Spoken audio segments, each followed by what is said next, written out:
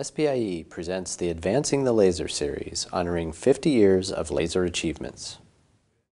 I'm, I'm Peter Moulton. I'm currently the Vice President and Chief Technology Officer of Q-Peak Incorporated. It's a small uh, R&D organization doing laser research and development in Bedford, Massachusetts.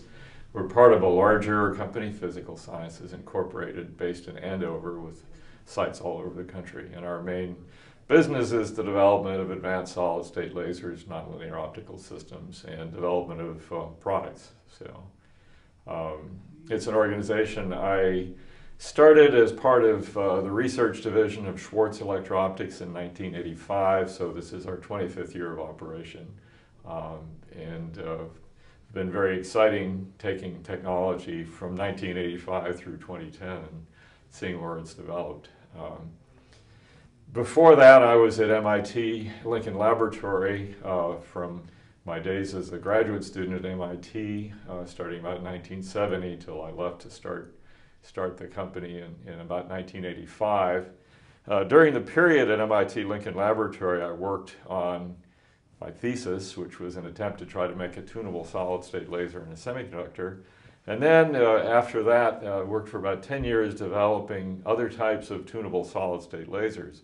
Um, my thesis didn't work, but subsequently I started working on some other materials, some transition metal doped crystals, nickel and cobalt in the in the 1.8 to 2 micron region. Um, they all uh, succeeded reasonably well, but they needed cryogenic temperatures for cooling, and they had other drawbacks.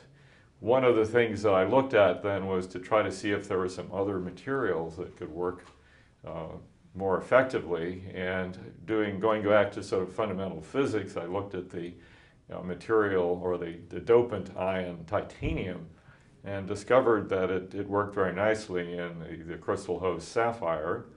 Um, so it was an intriguing uh, material because the first laser was in fact ruby, which is chromium doped sapphire, Al2O3, and the titanium uh, dopant had totally different properties from ruby. Instead of being a narrow line, it was a very broad line. In fact, it's about the broadest gain line of any laser material that's, that's known, any, certainly any solid state material.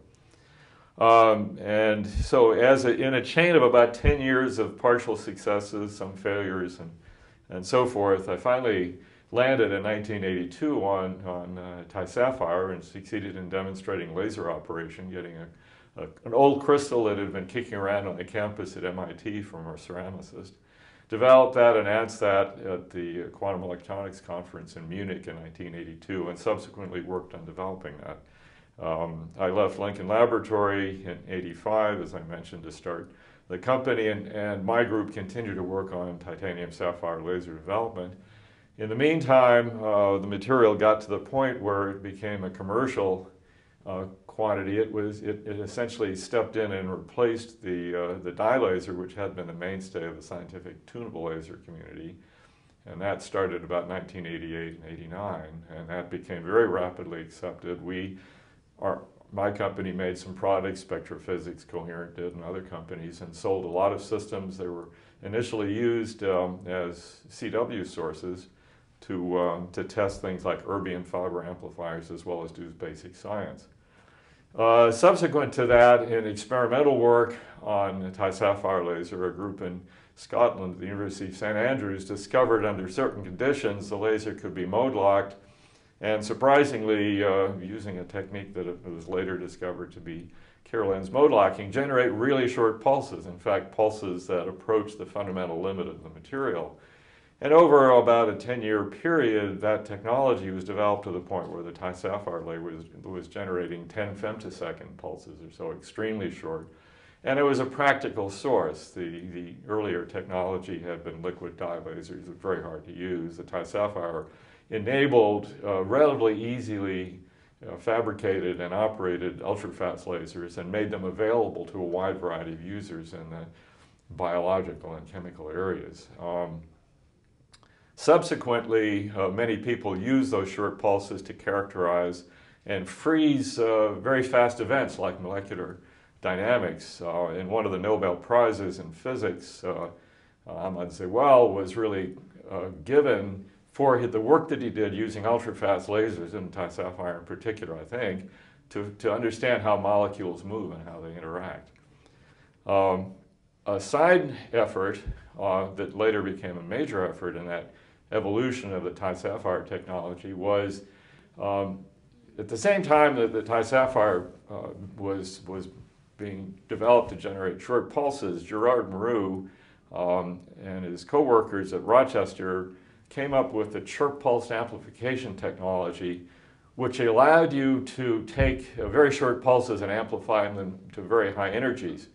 The problem with that in principle was if you took the short pulse as it came out of the laser and amplified it up, the pulse itself would have so much peak power that it would eventually damage all the optics in the system. And what Gerard uh, and Donna Strickland was his coworker pointed out is if you take the pulse and stretch it out by using uh, the spectral properties of the material from tens to hundreds of femtoseconds to nearly a nanosecond, now you can propagate that pulse through a high amplifier, high energy amplifier chain and go to very high energies. And that chirp pulse amplification technique combined with the Ti-sapphire material became the basis for making lasers that could generate terawatts and then petawatts and then exawatts of peak power in a very small and compact system. And so that whole area has developed into a major physics development, and those high peak power pulses are used to, again, study some very fundamental physics, as well as generate extremely high harmonics up into the ultraviolet, the holy grail being the development of X-ray sources that can be used for biological and eventually, hopefully, uh, practical applications in X-ray analysis, much better than an X-ray source. So the Ti-sapphire laser is, has been a great success. I hadn't really thought it was going to be that way. We were doing it for other reasons, but um, it's become a very substantial success uh, from a scientific standpoint and Nobel Prizes and being able to do great physics. Um, from a commercial standpoint, my understanding is uh, it's sustained the scientific laser industry for a number of years. Uh, I think the last time I checked, the accumulated product sales for the Ti-Sapphire laser are around $0.6 billion. So it's had a substantial economic impact as well. Um, MIT didn't think it was worth patenting when I, when I went to them. They had run out of funds and just weren't interested. So uh, I never benefited from that, sadly. But uh, in some sense, the fact that the laser was made free to the community probably helped it rather than saying if it had been licensed to one company, it may not have developed the way it did. It was broadly developed by a lot of companies competing, and that helped build the technology up. So it was good for the community.